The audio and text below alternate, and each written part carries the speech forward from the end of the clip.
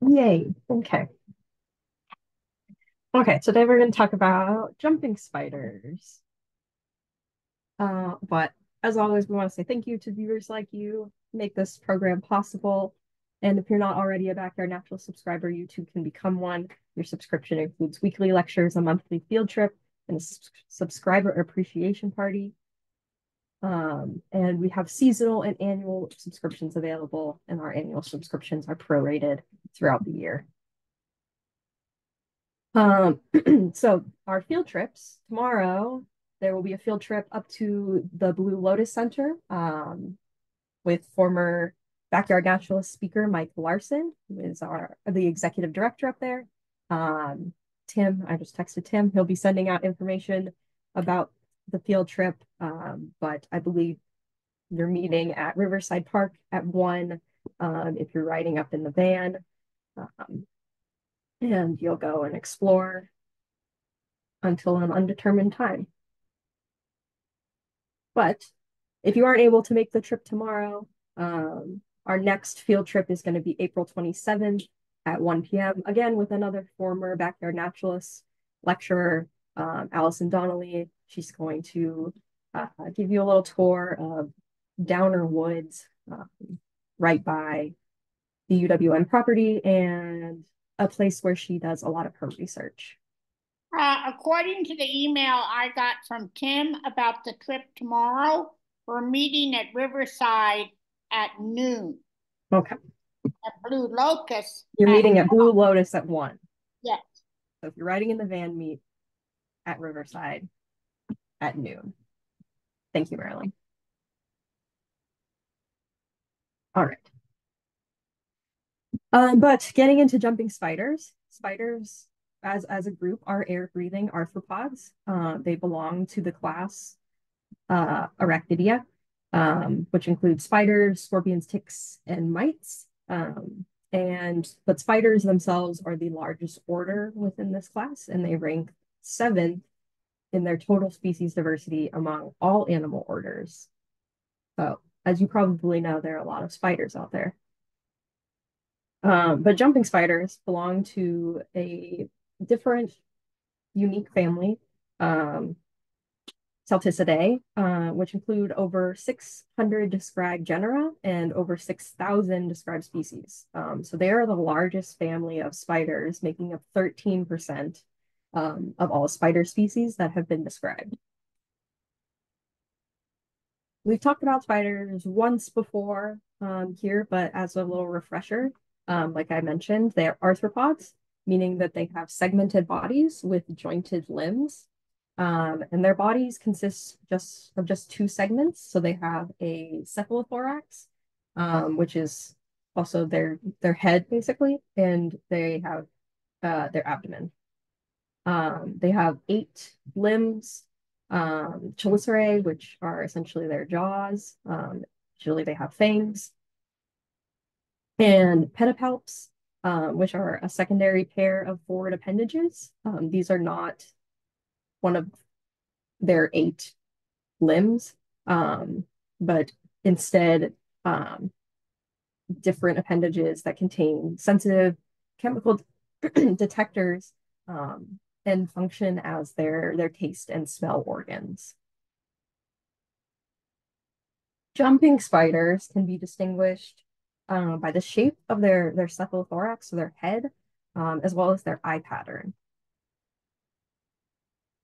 So like many other spiders, um, jumping spiders have eight eyes, uh, but unlike other families, their faces are roughly rectangular um, shaped surface, um, which gives them a very flat-faced appearance. Um, and so their front four eyes are most prominent, while their other four eyes are less obvious. So I personally feel this this eye arrangement makes them the cutest compared to, to other spider groups.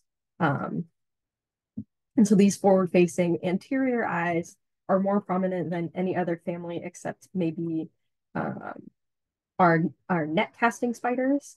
Um, but their large anterior eyes are adapted jumping spiders uh, eyes are adapted to provide them detailed three-dimensional vision um, that assists them in estimating range, direction, and the nature of their potential prey. So their other four eyes sit on the sides of their head. Um, these more serve as their lateral vision, um, not so much of that, that three-dimensional, um, but their posterior median eyes, um, which is referred to as PME on this diagram, um, in most spiders, including jumping spiders, these are largely vestigial, um, but they are thought to receive light from the sky and um, be sensitive to, to blue and UV light, um, which some of their other eyes are not. Um, their posterior lateral eyes, which sit farthest back on their head, um, are wide angle motion detectors. Um, so they sense motion from the spider's sides and from behind and so in combination with their other eyes, um, these lateral eyes give them, the posterior lateral eyes give them nearly a 360 degree view around them. They just have a couple of, of blind spots um, on the sides as well as right in front of them. Um, but because of this, they have really good vision. Um, and their visual system aids them in what they do best, which is jumping. So this is Kim. Um, she is a regal jumping spider, and a group of scientists trained her to jump on command so that they could study spider locomotion. And so they took free imaging of her and they filmed her from multiple angles in using slow motion cameras. Um, and what they learned is that Kim was able to jump as far as six body lengths away. And so that is quite significant. Um, without a running start, humans can only jump about one and a half times their height. Um, so obviously much, much farther. Uh, and this is because of a well-developed internal hydraulic system. So Jumping spiders are different from other jumping insects because they're able to make very accurate and targeted jumps. Um, this internal hydraulic system allows them to extend their limbs by altering the pressure of the body fluid um, within them. Um, and this enables them to jump without having large muscular legs like some other jumping insects like grasshoppers, for example. Um, So when jumping, they use a filament of silk um, tethered to whatever they're standing on. So you can kind of faintly see it in this image. This diagram shows it a bit better. But this silk line acts as a safety anchor um, and may also act as a mechanism for in-air stability. And so while they jump to get around and escape danger, the primary reason that they jump is to hunt. And so, unlike other spiders, um, jumping spiders don't spin webs to catch prey, but rather are active hunters and ambush predators, um, capturing prey typically that are, are small invertebrates. Though that's not always true, um, they're very skilled hunters and are capable of um, capturing prey that is, is much larger than their body size. Some species of jumping spiders will even prey on other spiders, um, and they display really interesting web invasion behaviors. Uh, I have a video that I'll show um, once we, we are done with this, but um, some simply just attack prey that are entangled in the webs of other spiders. Um, but others like this Portia spider um, will advance onto the web and use their legs to vibrate the silk, which lures the other spider in um, so they can essentially pounce on it and uh, kill it. Uh, in general, for jumping spiders, their their hunting behaviors vary greatly um, and are a really true testament to to their intelligence. Um, some species, including Portia jumping spiders, don't necessarily take um, the most direct path to their prey. Um, they navigate long detours to position them perfectly uh, to surprise their prey. They also display complex visual courtship behaviors. Um, so jumping spiders as a group exhibit sexual dimorphism. So the males um, look different from the females. Males um, are generally more colorful, um, have some body modifications, and they will um, dance to win over their mates. Uh, males possess colored or iridescent hairs, front leg fringes, and other modifications. Um, and then they perform this complex sliding, vibrational, and zigzag movements, um, as well as producing auditory signals, um, trying to impress a female. And to me, uh, these displays are, are very reminiscent of courtship displays put on by, by birds of paradise. Um, and just like birds of paradise, uh, male jumping spider modifications and displays vary widely between species and can range from very simple, like the iridescent colored fangs, our chelicerae we see here, um, to more extreme. and perhaps the most extreme examples come from peacock spiders. Uh, they have colorful and usually iridescent patterns on the upper surface of their abdomen, as well as enhanced that are enhanced with um, lateral flaps or bristles, which they display during courtship. So they can raise up their abdomen above them, kind of like a peacock raises its tail feathers. Females, on the other hand, are cryptically colored, so uh, this allows them to blend in seamlessly with their surroundings.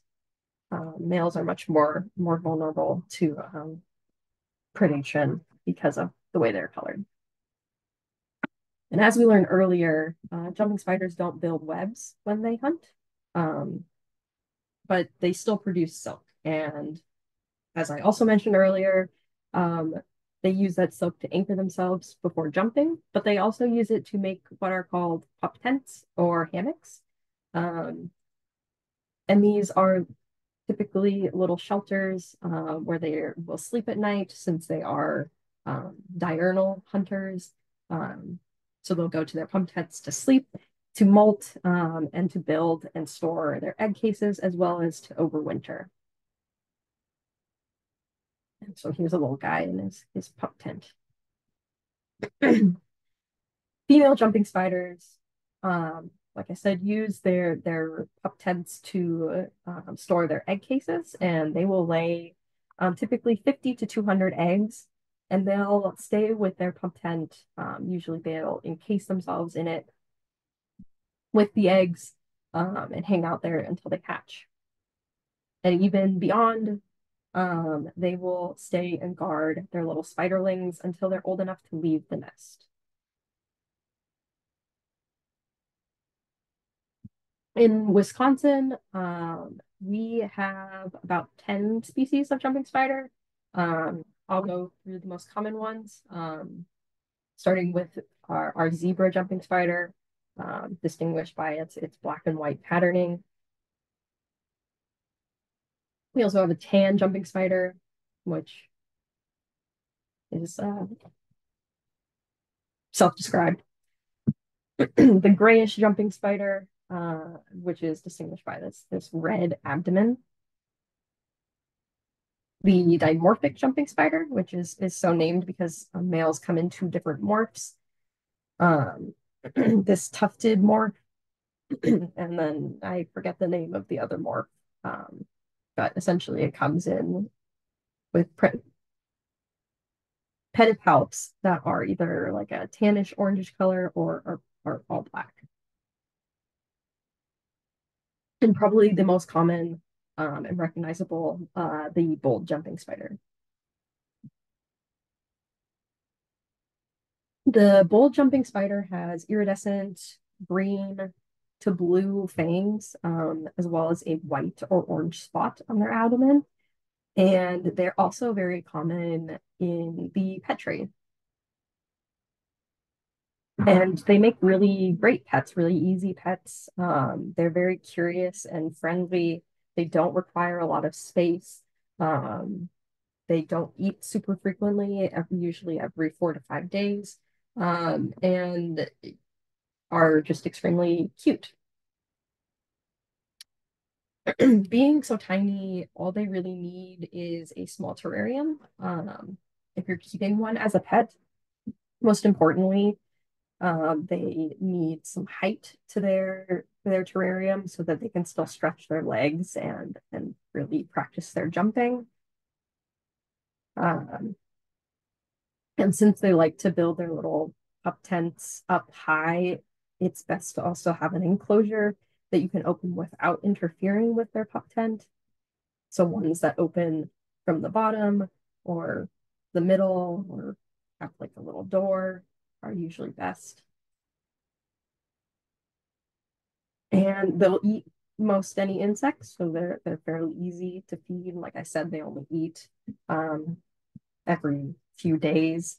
Um, their prey just needs to be sized appropriately um, for their body size. And so for most jumping spiders, fruit flies are usually excellent meals. To go about acquiring a pet jumping spider, you can you can certainly catch one in the wild um, and make it your pet, but it's usually best to purchase from a breeder, and there are a lot of them out there. Um, jumping spiders have increased in popularity as pets over the last several years. Um, so there are lots of breeders out there of different species of jumping spider, including bold, um, but also regal jumping spiders and some more some rarer um, more elaborately colored jumping spiders. Um, and buying from a breeder really just guarantees that you know what species you're getting, um, the age that you're getting, as well as what sex spider you're getting. Um, they're really fun to watch um, because each has their own little quirky personality, just like your cat or your dog. Um, and they're generally pretty interactive, um, but are difficult to handle. Since they're so small, they're very easy to lose or, or to hurt um, when doing so. And most only live for a few years. Um, so again, nice to get from a breeder so you know what you're getting. Uh, excuse me all in all, um, these intelligent little creatures are, are very fascinating to watch, both in the wild or in captivity. Um, I've seen several in in my house. Uh, I usually go and put them in my house plants, um, so they'll eat the little fruit flies that like to to swarm my plants in the summertime. Um, but next time you're out in your garden, take a closer look, and maybe you'll make a little friend. And who knows, maybe you'll see some jumping spiders in our animal rooms in the near future. So that's all. I'll stop sharing my screen and we can watch a little video I have.